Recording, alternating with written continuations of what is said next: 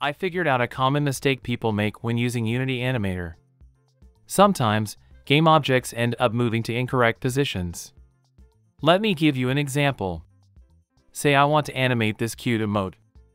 So, I drag it to the scene, and then in the animation window, I click on the Create Animation button and just create it with the default name. Next, I'll record a simple animation by dragging the emote halfway through the 60 frames and then move it up. Finally, I copy and paste the starting position at the 60th frame. If we play this animation, we see our emote going up and down as it should.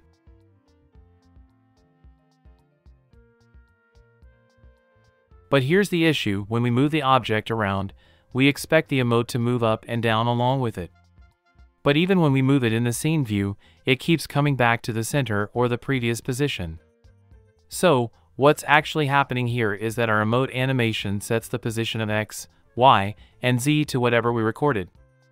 When we come out of the preview of this animation, we see that our real position is different from the animation position. What we want is a local position. A quick fix for this is to create an empty parent object and set that to be the parent of the emote. Now, when we move the emote up and down relative to where the emote parent position is, you will notice that the emote is going up and down from this position. The emote's position is now based on the parent world position. I hope this helps you understand the Unity editor and animator a little bit more than before.